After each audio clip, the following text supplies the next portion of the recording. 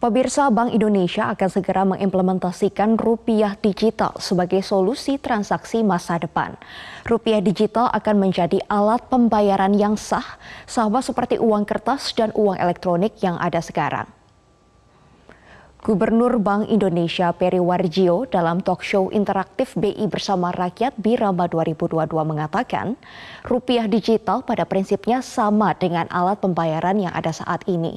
Hanya saja rupiah digital menggunakan coding yang hanya diketahui oleh Bank Indonesia.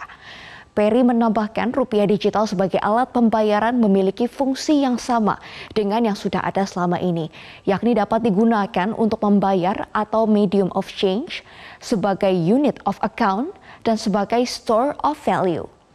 Karena itu ke depan akan ada rekening biasa dan juga rekening digital. Mata uang digital juga bisa digunakan untuk kerjasama internasional sehingga memudahkan kerjasama Indonesia dengan negara lain maupun dengan lembaga multilateral. Kenapa Bank Indonesia harus mengeluarkan digital rupiah?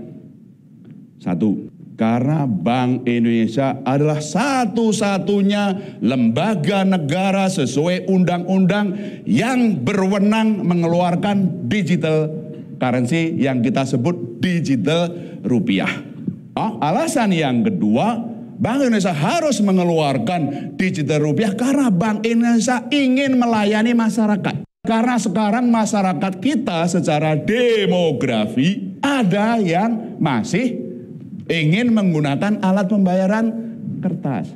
Yang nomor tiga, karena digitalisasi currency, central bank digital currency ini untuk bisa kerjasama internasional. Makanya Bank Indonesia bekerja sama dengan lembaga-lembaga internasional, dengan bank-bank sentral lain mengembangkan central bank digital